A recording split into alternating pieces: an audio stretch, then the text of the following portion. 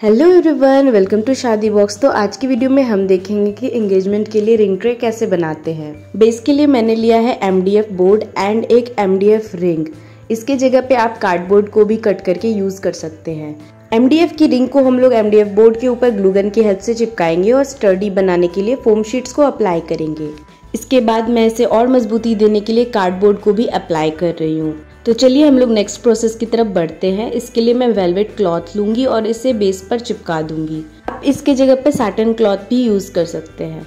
Access fabric को हम लोग सीजर्स की हेल्प से कट कर देंगे और उसको नीचे की ओर हम लोग ग्लूगन की हेल्प से पेस्ट करेंगे।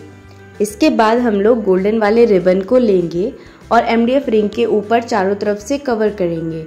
आप ये प्रोसेस देख सकते हो कि मैं राउंड राउंड करते हुए इसे एमडीएफ रिंग के ऊपर कवर कर रही हूँ। अगर आप इस टाइप की वीडियोस और देखना चाहते हैं तो please subscribe to our channel and hit the bell icon और आप हमें इंस्टाग्राम पर भी फॉलो कर सकते हैं। तो हमारा M D ring golden ribbon से कवर्ड हो गया है।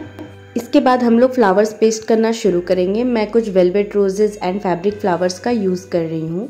आप अपनी चॉइस या अवेलेबिलिटी के अकॉर्डिंग कोई भी टाइप के फ्लावर्स यूज़ कर सकते हैं। अदरवाइज़ आप इस पे हैंडमेड पेपर फ्लावर्स भी चिपका सकते हैं। फ्लावर को हम लोग इस तरह से प्लेस करेंगे ताकि एक अच्छा लुक आए। नीचे के भी पोर्शन पे हम लोग इसी तरह से फ्लावर्स को अरेंज कर देंगे। मैं दोनों साइड पर फ्लावर्स लगाऊँगी। एक साइड में थोड़ा सा ज़्यादा रख रही हूँ और दूसरे साइड में थोड़े कम फ्लावर्स का यूज़ करूँगी। यहाँ पर भी आप अपने चॉइस के अकॉर्डिंग कम या ज़्यादा फ्लावर्स भी यूज़ कर सकते हैं। बीच बीच के स्पेसेस को फिल करने के लिए मैं छोटे छोटे पॉलेंस को भी लगा रही हूँ। अगर आपको राव मटेरियल से जुड़ी कोई भी जानकारी चाहिए तो आप हमें इंस्टाग्राम पे डीएम कर सकते हैं। हमारा फ्लावर अरेंजमेंट ऑलमोस्ट रेडी है। अब इसके बाद हम लोग एक जस्ट एंगेज का कटआउट लेंगे। आप इसकी जगह पे कस्टमाइज नेम कटआउट भी ले सकते हैं। इसको अटैच करने के लिए हम लोग ज्वेलरी वायर का यूज़ करेंगे, साथ ही पर्ल चेन को इससे अटैच कर देंगे। हम लोग दोनों साइड पे पर्ल चेन को अटैच करेंगे और ग्लू गन की हेल्प से ज्वेलरी वायर को पीछे की ओर पेस्ट कर देंगे। अब हम इसे एम रिंग जो कि एंगेजमेंट ट्रे में अटैच है, उससे अटैच करेंगे। तो मैं पीछे के साइड पे पर्ल चेन को ग्लूगन की हेल्प से अटैच कर रही हूँ और इसे स्टडी बनाने के लिए हम लोग गोटा का यूज़ करेंगे। दोनों साइड पे हम लोग गोटा पेस्ट करेंगे और हमारा जस्ट इंगेज का कटआउट इस पर पेस्ट हो चुका है। अगर आपको ये वीडियो पसंद आती है या इस तरह की और वीडियोस आप देखना चाहते हैं तो please subscribe to our channel इसके बाद हम लोग लेंगे ये एंगेजमेंट रिंग के बॉक्सेस और इसको भी हम लोग पेस्ट करेंगे।